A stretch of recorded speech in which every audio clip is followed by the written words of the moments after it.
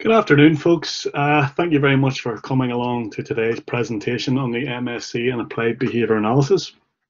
I'm uh, Dr. Stephen Gallagher and I'm the course director for the MSc program. So today what I want to do is give a short, short presentation on our course, but I want to begin by just talking about the benefits of postgraduate study at Ulster University and we'll get into the details then about, about the actual MSc program in itself. So we have a huge range of uh, master's programs at, uh, at Ulster University. If you want to check any of those out or any of our upcoming events, please uh, feel free to uh, to, to, to visit our website. And uh, firstly, I'll just chat to you about the benefits of studying at UU. So we have excellent conversion courses if you want to change career. So we have quite a number of people, for example, who would do our master's course where they're maybe coming from a, a nursing background or a teaching background who want to become a behavior analyst. And we certainly have that option there where people can, can, can change their career path with a postgraduate uh, course. It also gives people a competitive edge in employment. Again, as I say, we have a number of professionals who would do our course. So, for example, we have we have nurses who go on to to, to specialize in, in, in behavioral uh, interventions. We have teachers who go on to specialize in special educational needs, uh, and we have we have various other professionals who want to to improve their their, their skill set as they as they go through. Uh, we also have a number of uh, a number of students who come straight from their uh, from their undergraduate degree and they want to engage in studying behaviour analysis purely because it's something that they're that they're interested in. And we also then have a number of parents, uh, for example, then who will do the course uh, because they want to be able to understand and work with their own child. So the great thing about the course is, or any course that you use, because people are coming from such a, a diverse background that when we have you guys together in the classroom and you start talking to each other, uh, when we talk about the principles of the of the science, you can sort of see people talking about it from different perspectives. And I think that's really important when people want to to, to better themselves and, and, and become, I feel like, experts in this particular field.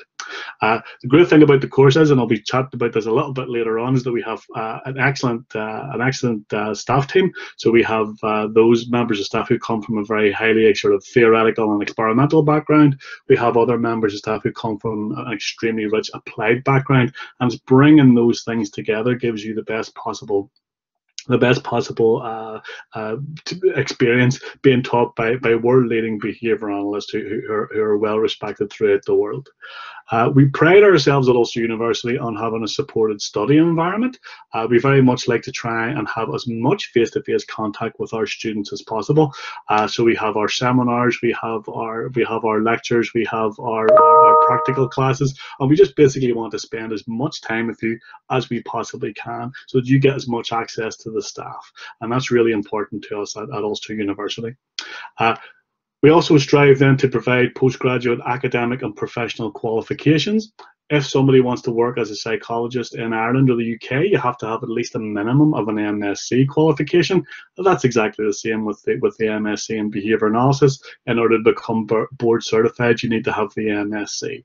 Uh, and obviously that, that's something that we, we continue to pursue uh, in order to allow our students then to go out into the working world with professional qualifications that are recognised. And we also then have great links with industry bodies and employers. So at the moment, we have quite a few of our students who have gone on to work for the uh, Education Library Boards and Health Trusts in the North, also in the Republic of Ireland as well. And then we have those students who've gone on then to, to work abroad or to set themselves up in, in private practice here uh, in Northern Ireland and in the Republic of Ireland as well. So lots of benefits for studying at UU. And if we look at some of the, the facts and figures then that are actually uh, involved with that, we can see that uh, the extra amount of postgraduate uh, that a postgraduate earns compared to a graduate colleague would be eight thousand pounds. So there's quite a significant increase in in your wage packet at the end of, of the year, and really that then does amount up to a considerable amount of money. It's two hundred and sixty six thousand pounds extra uh, income with a master's graduation and a degree uh, over the lifetime of employment. So that's quite a that's quite a, a sizable sum when you when we look at it and kind of its, its rawness there. We also have 20% of our postgraduates uh, basically will will progress faster in their professional settings than than, than people who only have a, a, graduate degree. So definitely it, it, allows people to hit the ground running when they begin their career and maintain that momentum. They do make their way through the ranks, so to speak, at a faster rate than, than somebody with just a graduate degree. When it comes to Ulster University, we're also very, uh, very aware that we want to have nice high employment figures for our students. So we want to make sure that when students uh, leave our courses, that they're, they're, they're fit to, to begin their employment straight away. So 90.7% of UK full-time leavers at postgraduate level right across the UK work in professional occupations compared to only 72.6% for the total uh, UK population for undergraduate le leavers. So you can see automatically then by having that postgraduate qualification, it does improve your opportunities to, to, to get that job that you really want. And all this information is, is, is open for you guys to browse. If you go to the various sources here on the screen, you can check those out and go into the actual specific data when it looks at psychology and all the other all the other fields that you're that you're interested in. So great thing about Ulster University is we have lots and lots of postgraduate uh, uh, qualifications that you can possibly go for. No matter what you're interested in, there'll be something for everybody to come back and, uh, and, and, study at a postgraduate level. Uh, at the end of the day, Ulster University is all about the students. We want to make sure that the students are able to get the most out of working with Ulster University as possible, and therefore what we try and do is we try to make everything as flexible as possible. So we have full-time courses, we have part-time courses, we have distance learning, and really in the last year because of uh, because of COVID, we have really really kind of improved our, our, our distance learning, and uh, and that that's something that we, we you know we were very good at initially, but we're much stronger at it now. So that's something that I think uh, has certainly been a benefit. Uh, we also then have flexibility with regard to the level that you want to study at. Some people want to come back and do a, a short course for for a little certificate, other people want a postgraduate certificate, a postgraduate diploma, a master's in the arts, or a master's in science. So we have all those different options there. As I say, between the different levels and the different subject matters, there's definitely going to be something for everybody when it comes to, to postgraduate study at Ulster University. And the great thing is because we're a local university and we have lots and lots of, of links to, to, to local uh, to local uh, industry, but also then to the to the, the, the, public sector as well. We tend to work with a broad range of industry and public sectors to include professional accreditations where possible. So as I say, with our MSc program, we have the, the, the links to the to the behavior certification process, and that's something that we're, we're very proud of. But we'll talk about that in a little bit more detail uh, as we go through the various slides. Okay, so when it comes to applications, uh, we have a, an online application system at Ulster University. It doesn't matter what course you're going to be applying to, we have the same online application. If you go to the website there, uh, you can go on to the to the to the to the website and, and, fill in your application form, and that comes directly through to our faculty office, which then will come through to me. There's no actual official closing date for most courses. They tend to roll over uh, as, as, as, the, as the year goes by. So if you haven't uh, actually uh, enrolled for a course at this particular point in time, don't be worrying. You haven't missed the deadline. You can send that through to the online application system. And as I say, that will come through to me. And then what we can do is we can take a look at that particular uh, that particular application and we can arrange uh, an interview with the student. So Courses uh, often are limited with the number of places that they have, so please think about that when you're going to be putting in an application. You want to try and get it in as early as possible to make sure you do secure a place. But as I say, that's not necessarily uh, true in all in all cases. You certainly can continue to apply throughout the year. You can also apply for multiple courses. You may want to apply for two or three different courses just be aware that if you want to do that, you have to have a separate application for each of those courses. Again, they can all be found in the same place. And then make sure that you fully complete the application. Make sure you've ticked all the all the boxes that, that have to be filled in. And listen, at the end of the day, there's always somebody there to help you. So if you're in doubt about anything, if you're not sure how to fill a particular section of the application form in, contact us and we'll be happy to get back to you and make sure that your application is all sound and ready to, to send in. So the end of the day, as I say, don't be worrying. If you're stuck, give us a call and we can help you out in any way that we possibly can. When it comes to fees and finance then of the course, what we tend to see is that we have standard price across a lot of our courses and they usually start from £6,270 uh, for the course. That's beginning in 2021, 2022. We do, however, have flexible payment options and that can be sorted out with the university. You can talk to the fees office about that and they'll advise you on how to actually set up a, a flexible payment system. For anybody then who has done their undergraduate degree with Ulster University, we have a 10% alumni discount. So if you've done your, your undergraduate degree with us here at Ulster and you want to come back and do an MSc or an MA, there's a 10% uh, alumni discount. For those maybe who aren't really uh, haven't come through UU, there is a 5% discount for an upfront payment. So if you pay all your fees in upfront in one go, we'll give you a 5% discount there. And uh, just to help out those students in who are thinking of coming back, uh, there are student loans for up to five thousand five hundred pounds available to help you through uh, to help you through your your, your living costs, etc. When you're actually carrying out the course. Again, you know, on, go onto our website, check out the, the, the fees uh, site, and they'll be able to give you all the information about that should you actually require it. So, the MSc in Applied Behaviour Analysis, we'll, we'll, we'll talk about our course now. So, uh, the, the Masters in Applied Behaviour Analysis is basically a, a, an MSc program. It's part-time over two years. The reason that we have it part-time over two years is, as, as I said before, we have a lot of professionals who come and do our course on day release a lot of teachers, a lot of social workers, a lot of uh, a lot of nurses, mental health nurses. We also then have students coming directly from their from their uh, from their undergraduate degree. So the whole idea then is that at the end of the two-year course, you will hopefully be eligible to come to become a board certified behavior analyst if you have fulfilled all the various criteria. And I just want to explain applied behavior analysis really in a, in a, in a nutshell. And a definition of applied behavior analysis is the science in which tactics derived from the principles of behavior are applied systematically to improve socially significant behavior and experimentation is used to identify the variables responsible for behavior change. Now that on the face of it seems like a very simple uh, paragraph, but there's so much in there and it really does uh, if you like, describe our course in an absolute, absolute nutshell. So the first thing is that applied behavior analysis is a science. Okay, so we're going to get you guys and we're going to make sure that you are well grounded in the basic science. Because if we look at, at, at behavior analysis, we see that there are a number of principles. Should that be shaping? Should that be reinforcement? Should that be extinction?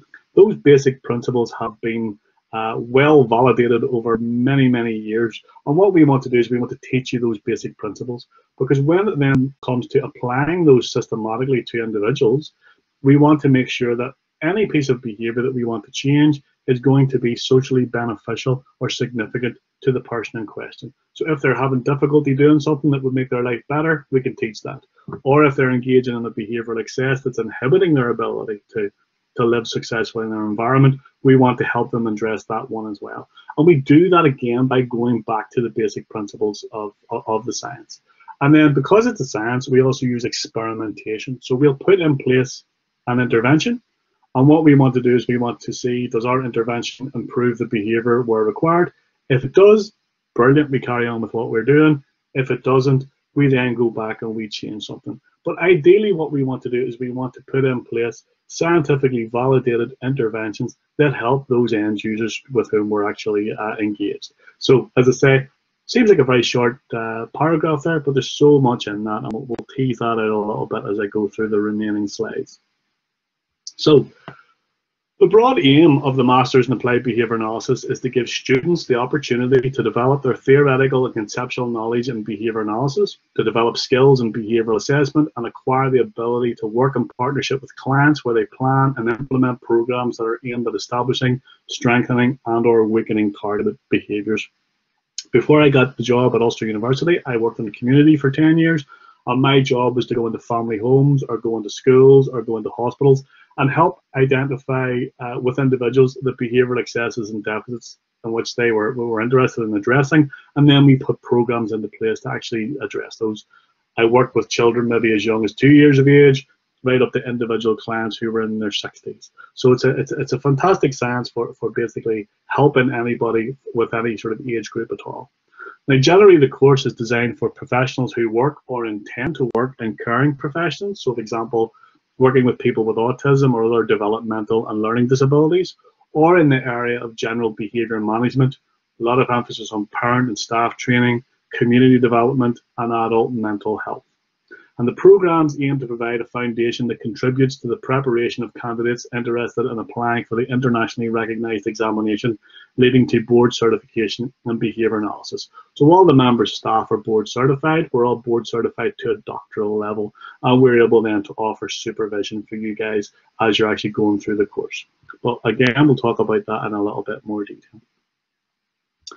So the teaching staff, as I mentioned, are uh, of a very high caliber. They're recognised uh, throughout the world as world-leading experts. And just very quickly, we have Professor Julian Leslie, uh, who's just been recognised for his work by the Association for Behaviour Analysis International. He's just received an award for that. Uh, Professor Mickey Keenan, who has received that same award uh, twice uh, for his international um, his international dissemination of the science of behaviour analysis. We have Dr. Claire McDowell then, who was integral for setting up all the behaviour analytics schools in the Republic of Ireland a number of years ago. Many of those schools are, are still running. So Claire was at the at the forefront of actually opening those schools for families in the Republic of Ireland. And then there's myself, Stephen Gallagher. I'm the course director. And as I say, I have uh, I was, I was part of that interna- uh, international award with Professor Keenan uh, a number of years ago. I also worked out in the community for a number of years and have been involved in a lot of uh, a lot of uh, interventions and, and parent training as well. So within the, the actual group, we have a great sort of mix of theoretical and applied knowledge, which is going to really help you guys develop a good, sound understanding of the, the science of behavior analysis. So the way the course is broken down is that it's taught part-time over two years. In the first academic year, you guys will be coming on campus, hopefully, on a Friday.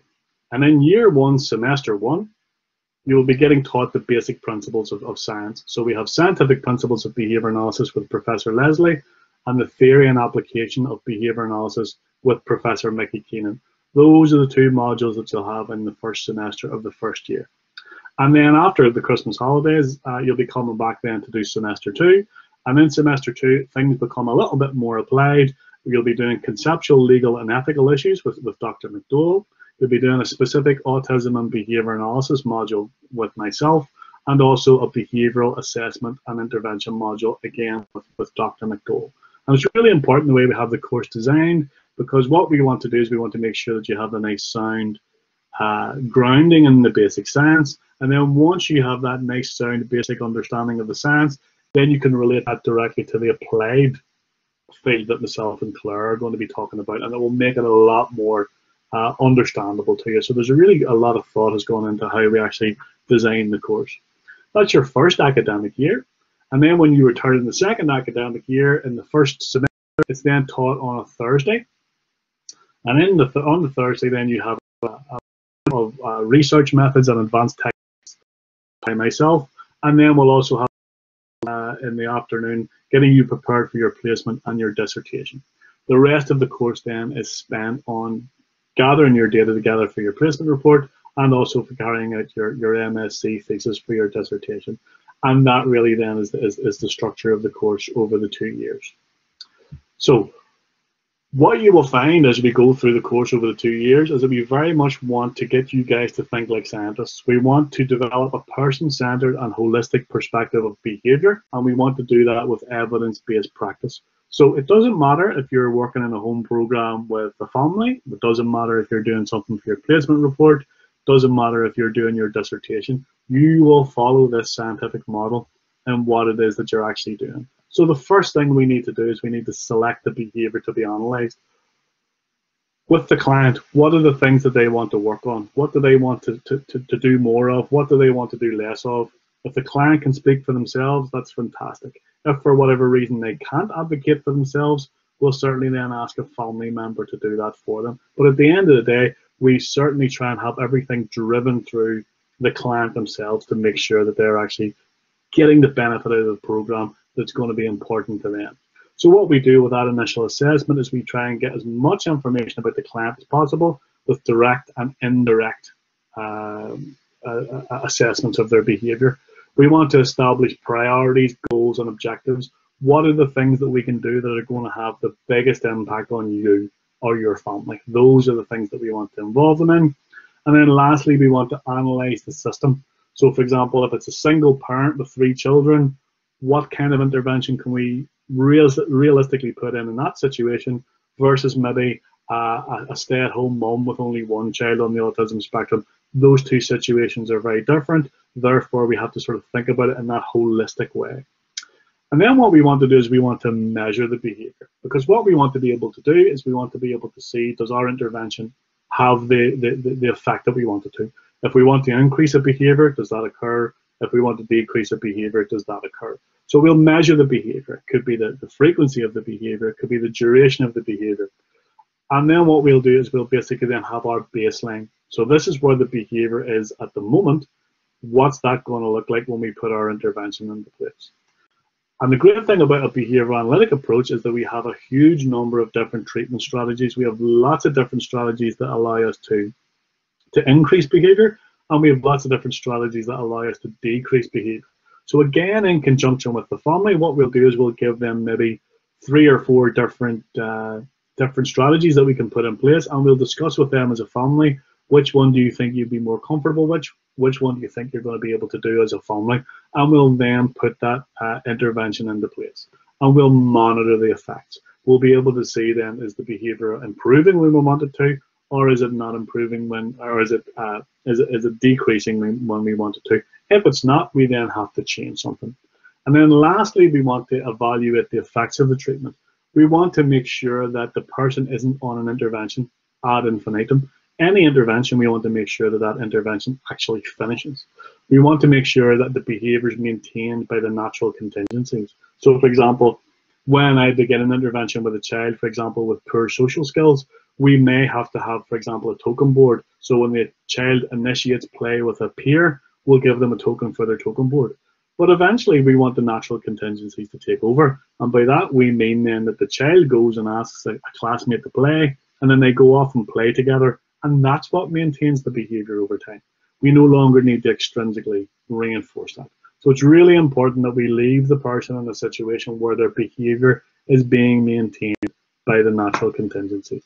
And really, at the end of the day, as I say, yes, there's an awful lot in this quite simple and straightforward diagram, but the whole point of the MSc program is that we talk you through this entire uh, process and you then become expert in that by the end of the course. This is what you'll be doing as a behavior analyst when you're working in your in your, your future career. Now, when the MSc program first began, it was very much related to, to autism spectrum disorder, but just putting up this slide, this is from the Association for Behaviour Analysis International, and it looks at the special interest groups which are part of, of, of ABAI. And as you can see, we have uh, a whole range of different things uh, on which behaviour analysts work. So, for example, acceptance and commitment uh, therapy or training is to do with, uh, with with depression and anxiety and a lot of kind of so-called sort of cognitive behaviours. And we have uh, we have a good rich history of, of researchers involved in that uh, among our staff. Uh, addiction, uh, should it be alcohol or substance abuse, is another field that we, we were involved in. In fact, one of our master students went to Johns Hopkins Hospital in Baltimore and worked in the Kennedy Krieger Center for substance abuse using behavior analysis. And uh, they did their placement year there and, and, had a great time. So we're hoping to, to expand on that. Obviously, then we have we have ASD, uh, this is a little side project I'm involved in, behavior analysis and selectionist robotics. We're actually looking at behavior analysis and, and artificial intelligence. We then have health and sport and fitness. Uh, behavioral gerontology is working with uh, using behavior analysis. Uh, we have a number of links with the Royal Victoria Hospital, working with consultant pediatricians, uh, looking at behavioral medicine. So how can we have behavior analysis uh, complementing the medical approach? We also then have uh, of crime, clinical behavior analysis, neuroscience, all sorts of interesting things going on there. My, my recommendation would be go on to the Association for Behavior Analysis International website and look at all the different areas in which behavior analysts are, are, are working. So the great thing then is it's an MSc in behavior analysis. When you become board certified, you're board certified as a behavior analyst, and you can go on then and work in any of these particular fields. So it certainly is a, a very exciting opportunity if anybody wants to get involved from, from that perspective. As I say, our course is a, is a verified course sequence of the Behaviour Analyst Certification Board. That basically means then that if you get a qualification as a board certified behaviour analyst here in Northern Ireland, you can then have that qualification recognised around the world. So at this particular point in time, just off the top of my head, we have students who've completed our uh, course. They're working in Northern Ireland, Republic of Ireland, Great Britain. They're working through uh, the European Union. They're also working in the United States, in Canada, in New Zealand, in Australia, in the United Arab Emirates, and uh, and also China and India. So a huge number of our students have gone off to, to work around the world, as well as working more locally as well. So we follow the, uh, the, uh, the, the, the, content for the BACB. We're currently in the fourth edition, and I'll not rush you guys through it now, but you can sort of see it, it, it relates to the number of hours of each area that we have to teach. And currently we have to, to have to cover 270 classroom hours. Uh, that's going to increase to 315 hours, but we've already got the paperwork sorted out that we can move from one to the other. The whole point being that when you complete our course, you will have completed all the classroom uh, requirements that you need in order to become to become board certified. So it's important that that all master's courses in behavior analysis follow this that, this classroom breakdown. When it comes to the uh, the placement element of the of the, uh, the, the, the BACB qualification, at the moment you're required to have 1500 practice hours, 5% of which need to be supervised which means 75 hours supervised by one of the members of staff that I mentioned at the beginning of the of the of the the presentation. That's about to, to increase to, to 2,000 hours, which will require 100 hours of supervision. So we try as best as we possibly can to try and get you guys as much of that supervision as, as possible so that you're able to, to, to be ready to sit the BACB exam at the end of the at the end of the session. Uh, we're also very excited that since 2006, we've also developed a relationship with the New England Center for Children in Boston. This is a world-leading center for children and young adults with ASD, and each year we send somewhere in the region of six to nine of our students to, to the New England Center for a year. And when they're there, they work on their dissertation, on their placement report, and this world-leading center they, they rack up, uh, you know, their, their placement hours for BACB accreditation, and it's a wonderful opportunity uh, for students. In fact, we have a number of students then who have returned to the New England Centre for careers there. We also have had a number of students who work in one of their London outreach centres. Uh, we have students who go there every year. And then we also have students who go to the New England Centre for Children's uh, Centre uh, in Abu Dhabi.